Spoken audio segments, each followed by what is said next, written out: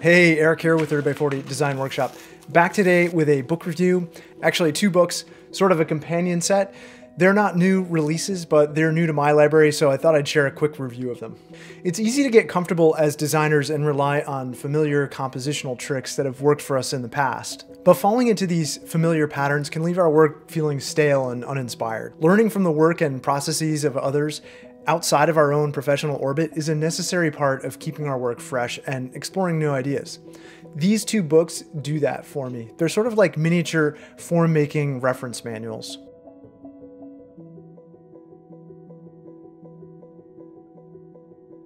Book One's foundation is a system devised for teaching spatial manipulation by the authors while they were teaching at the Harvard GSD. The book is organized into basic formal operations subtraction, addition, and displacement, and they're meant to set in motion the designer's work. Rather than finite forms or end products, they are the means to an end, a jumping off point. The book's diagrams are simple and they effectively communicate the transformations possible using the one word verb on each page. I view them as a writer might a thesaurus, as a way to say something more precisely, or a way to color an existing design language. It's a concise book with only a very few introductory pages of text in the beginning, and as such, it leaves room for interpretation, but equally, it leaves out some of the more complex variants of form and space making.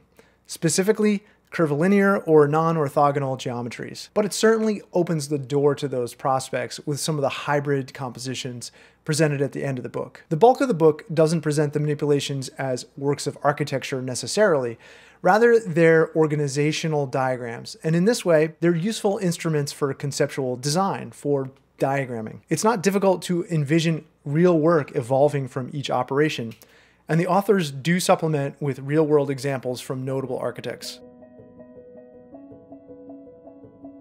Conditional design is an evolution of the more abstract operative design and rightly acknowledges that the conditions of architecture are defined by more than simple volumetric manipulation.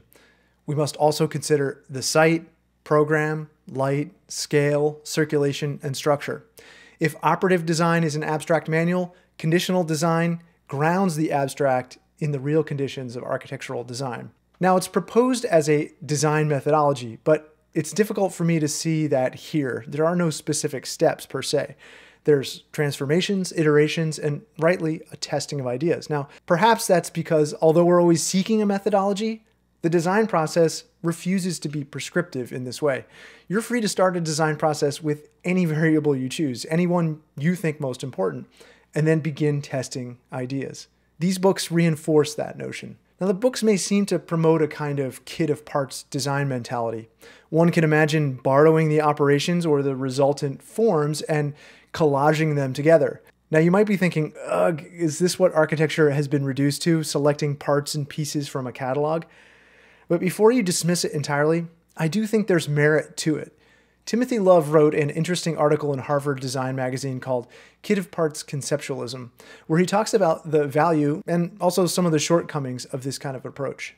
This was actually how I was taught when I went to architecture school. I somewhat naively fully expected to start right in on day one designing buildings, homes actually. I thought I could choose. But no, in architecture school, they start off by purging all your received architectural knowledge, your notions of what good architecture is, sort of an informal brainwashing, if you will. What you think about architecture is based on a lot of things where you grew up, your social class, your culture, where you vacationed, all the media you consumed.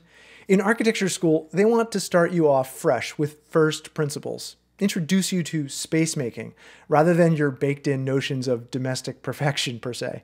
To do this, they arm you with a kit of parts and a composition challenge, where you can only use the fundamental building blocks of architecture planes and piers. They give you a set of basic rules and you complete a series of abstract projects. What this does is it forces you to think about creating space first rather than the iconography or imagery of a home, for example. And so there's validity to the kit of parts approach, but not as the only approach. Architecture is the result of many complex motivators. Formal composition is but one. And as Love says in his article, architecture cannot only be about itself, as the kit of parts teaching might suggest. It must solve tangible problems. So for a kit of parts to be truly useful, it has to be informed by other meaningful ordering systems. As a pairing, These two books neatly address that idea. Now, without question, there's lots of obvious value here as a teaching tool, and so I think these will be most helpful for students and teachers.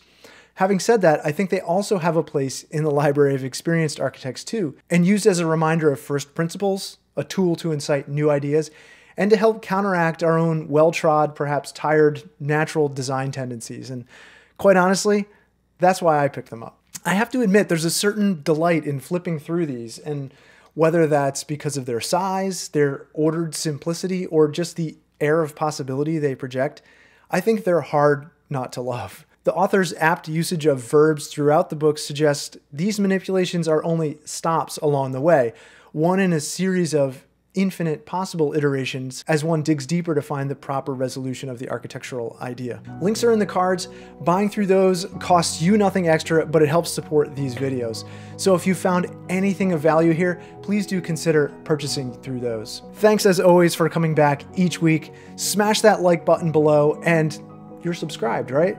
Hit that notification bell so you won't miss any videos. We'll see you again next time. Cheers.